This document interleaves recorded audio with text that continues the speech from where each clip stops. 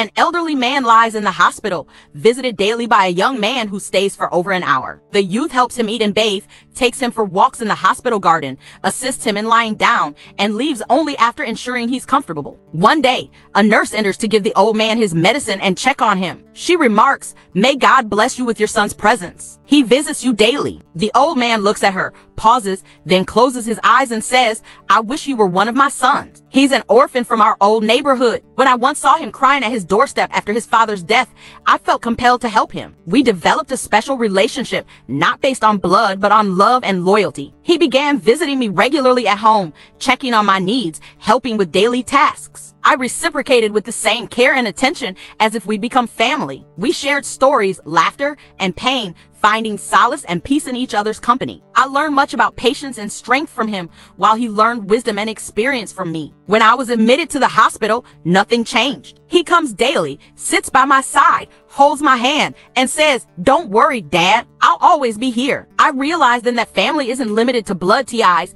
but is a bond of souls united by love and devotion. This young man was my gift in life. Though not my son by birth, he was the son I always wished for. With each passing day, I become more certain that true friendships and the bonds we build with others are the greatest wealth we can possess in this life.